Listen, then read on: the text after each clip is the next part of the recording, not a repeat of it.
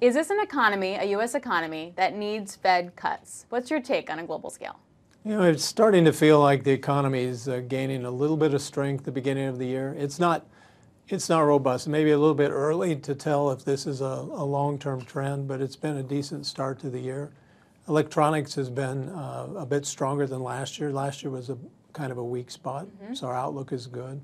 Automotive had a good year last year, and I think despite the discussion around electric vehicles and some of the flat to negative sentiment that's in the news, the reality is I think it's going to be another good year uh, in the automotive sector. Mm-hmm. Housing's been the slow start, but there's been an uptick in single family home uh, starts, which is good. Uh, that usually has a ripple effect through a lot of other durable goods manufacturing. We haven't seen that yet. So a, a, modest, good start to the year, and we just see how things develop. So we're getting there. So we're getting there. that begs the question that if we do say get two to three cuts this year, for example, from the Fed, um, is your expectation that we see accelerated growth, higher inflation? Like, does that actually start more growth? Well, I think in the commodity space and in our industry mm-hmm. in particular, we tend to lead into a slowdown. And so we started to lead into this 18 months, uh, middle of this year will be 24 months ago and we typically tend to lead out. And so it's too early to say we're coming out, but you can start to see shoots that are like when we see a recovery.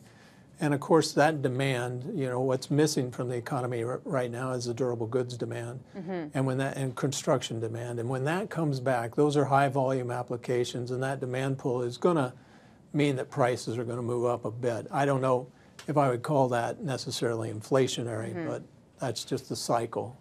What do you think it's waiting for? I think it's waiting for rate reductions for the mortgage rates to come down. Uh, I think that's the next big thing that typically triggers uh, a kind of a shoot up in the housing market. And then that triggers a lot of other services and durable goods demand that comes behind it. So we may see a second half recovery. I'm That's hopeful. sort of what I'm hearing from you. That I'm hopeful. Yeah. Is it a similar picture um, over in Europe? So the chemical sector in Europe is under a lot of pressure. I mean, input costs are high. The economy there is, is weaker in many sense compared to the U.S. What's your take? European consumer demand is not uh, nearly as strong as it is uh, here in the States. And of course, the, the weight of uh, higher energy costs has hit the consumer in a lot of different ways. Um, now, we're seeing an improvement year over year. Obviously, energy's come down, but Natural gas is below $10 a million BTU landed in Europe. But we sit here today at $1.60. Mm-hmm. And, and maybe the long-term trend is 250 to 350. Yeah, but still, that's a difference. Still a big difference. And electricity, you know, which most consumers purchase, electricity costs are double, uh, maybe a little bit more than what they are here in the U.S. So I think, you know, there's a big question when I look at my downstream customers in Europe I'm always questioning how long will they be there? And if you don't have a domestic market to service in Europe, you, you really can't afford to export from Europe. So if you don't have a domestic market to service, you have to say, you know, what does my footprint need to be? How long can I be there in order to be part of that economy? That's a big deal. I mean, that, you're talking about the automotive industry, construction industry. Like, is that going to move? What, yeah. What's your best sense? A lot of a lot of technology comes out of there too. I mean, beyond just the industry, a lot of the technology that we use around the world starts in Europe, and so, you know, exporting technology obviously is a little bit easier than exporting product, but uh, we're already starting to see imports of electric vehicles from China into Europe. We're seeing uh, China has become a lower cost competitor than Europe in petrochemicals, so you're starting to see product move into Europe. The Middle East obviously has been a big supplier uh, mm-hmm. uh, because of their cost position into Europe. Europe's getting a bit of a reprieve right now because of the Suez Canal situation, so operating rates are up a little bit. But I think that'll, once that Israel Gaza conflict is resolved, then we'll see things go back to normal. Is it fair to say that you wouldn't build a new chemical plant in Europe right now? be very tough. You'd have to be uh, in a very specialized downstream market that you knew could handle the higher mm-hmm. input costs. But I, would say in general, be very tough. So for you then, let's take a look at inflation for a second. Where are costs still rising and where are they falling? You're starting to see um, some costs. I mean, cost in commodities came off pretty dramatically. I think uh, one of the reasons we announced our final investment decision on our project in Canada at the end of last year was because we were able to lock in a lot of bulk material costs like uh, steel, um, concrete, cement, all the things we need to build the plant. Um, so I think that's been good. Now, obviously, as some of this construction demand and things come back, that'll that'll tend to rise with the cycle. But I think if you looked at the commodity portion, a lot of inflation came out of there.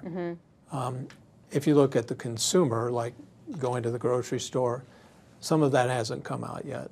And so I think we're starting to see that with the destocking that happened last year, no signs of really restocking uh, in the value chain. I think you're going to start to see some of that consumer inflation come out too. And I think that's a little bit what the Fed's looking at. Are you worried about tariffs come, I don't know, November, January? From Well- either president. I, yeah, I, you make a great point. Both tariffs. Um, as a global company and, and as a company that's been part of global trade for many, many years, tariffs don't stimulate demand anywhere. So I, I think what would happen under a tariff regime is we might not be happy with the demand result. Global free trade has been a better platform for growth. It's been better for growth not just for the U.S., um, and we're advantaged, of course, because of energy, among other things, but it's been great for other countries. It's lifted so many people out of poverty. It's created a middle class. It's allowed technology to trans, transfer around the world. So It I, would also I- just mean that you would have to produce and use the products in, in country, right? You have to produce and do in country. It would be totally separate from each other. Right. It- when we have a supply chain today that is not U.S. centric mm-hmm. and hasn't had time to reshore, so that would become inflationary in and of itself. Mm-hmm. So I think, you know, the thing we're trying to fight and the tool we're using, they both could end up being inflationary. I don't, I don't know that tariffs is the answer. Let's turn to if you're building a new plant today, what are you going to power it with in the next 10 to 15 years? Like, what's going to be that thing? Well, we're, we are building a new plant in Canada, and um, the purpose for going up there was to build the world's first zero scope one and two emissions ethylene complex. Um, we will power it with hydrogen. Um, we have it's a pretty elegant solution because we actually take ethane and natural gas liquid, we crack it to make ethylene, and we make two byproducts, methane and hydrogen. Linde will come in and build an autothermal reformer that'll convert that to pure hydrogen, and that pure hydrogen will fire the furnace. So it's a very closed loop system um, that will allow us to capture all the CO2 off the autothermal reformer and sequester that and make zero scope one and two ethylene and plastics there. Uh, it'll be the biggest hydrogen carbon capture project of its kind uh, in the world, and it'll be the first one. First phase will be up in 2027. One more quick question on that. Yeah. When are you going to make money off of it? And that's my way of understanding how expensive is it to, to put together. As soon as we start it up, it'll be uh, as competitive as our project that we did here in Texas and started up in 2017. You know, Canada's got a price on carbon, uh, so we, we're able to recover some of the higher costs of scrubbing out the CO2 from the price on carbon. And the Alberta government and the federal government in Canada have investment tax credits and incentives for us to put in the hydrogen technology in the first place. So both of those things mean we'll be able to make a return like the project we built down here in Texas. And I think if you look at what we did with IRA, we, we also made a big step forward. One with the tax credits and, and the support for new technologies. But I think more importantly, the breadth of the IRA. So we, as opposed to say the EU, which is very focused on a transition, but very specific, you can only make green hydrogen a certain way.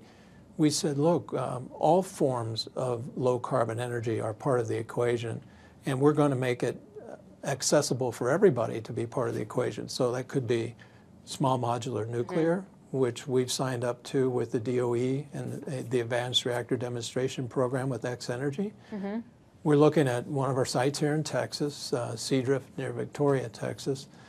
And we're looking at that site to basically replace all of our combined cycle gas cogen with a small modular reactor, four 80 megawatt units that would take all the power and steam at the site to zero carbon. Wow. That's, that's a, a big project, Yeah. but we think we can do that and help X Energy bring that cost competitive with hydrogen carbon capture or combined cycle gas with CO2 scrubbing. Uh, we think we can be competitive with both of those.